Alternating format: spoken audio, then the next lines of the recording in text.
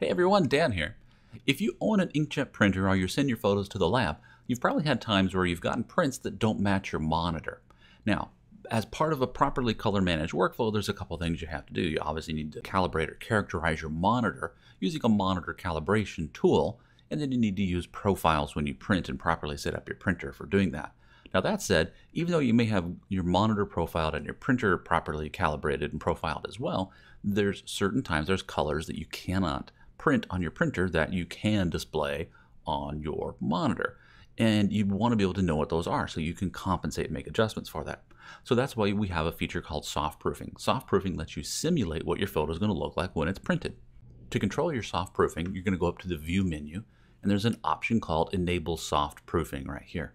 When you turn that on, the background is going to turn to white. It's actually going to be the color of the white paper that you're printing on and it's also going to simulate what the colors look like that that printer paper combination can reproduce. You can easily turn that off down here in the bottom. There's a little soft proof button which toggles that on and off. But let's talk about some of the options to help you really take advantage of this. In that view menu underneath soft proofing, you need to pick the profile for the paper that you're going to print to. So in that profile flyout, any profiles that are installed automatically with your printer will appear in this list. Plus, you can use the import option to import any custom profiles that you may have downloaded from third-party websites or that you've developed with your own spectrophotometer. So let's say I want to see what this looks like on my Canon Pro 100 using the Pro Luster paper. There we go. So that will now simulate it. And if I toggle that on and off, you can see the difference. You can also highlight the difference so it's a little easier to see by turning on the gamut warning. This will actually show you the colors that won't fit, the colors that don't translate.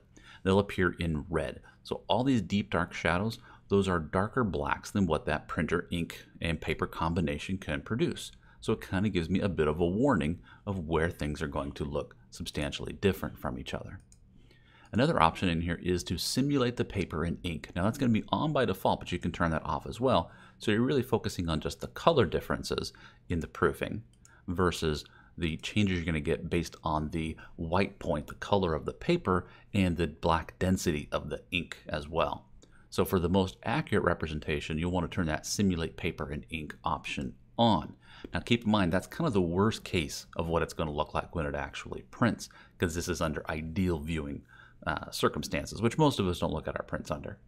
Now, to really take advantage of that soft proofing, the next thing you could do would be to create a version of your current photo and make adjustments inside of Develop or Effects to compensate for those changes, the limitations of the printer profile combination.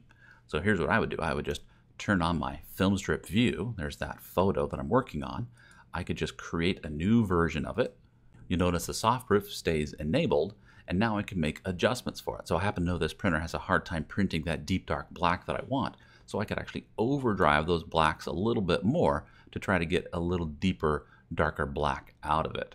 Or if it happens to lose a little bit in color, I could increase the saturation a little bit to get a brighter print out of it.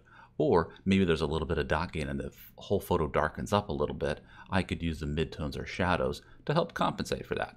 Now those adjustments I wouldn't want on my master copy. I really just want it on my version for print. So by creating that version, adjusting its non-destructive settings for that printer ink paper combination is a great way to work. All right, there you go. Thanks for watching.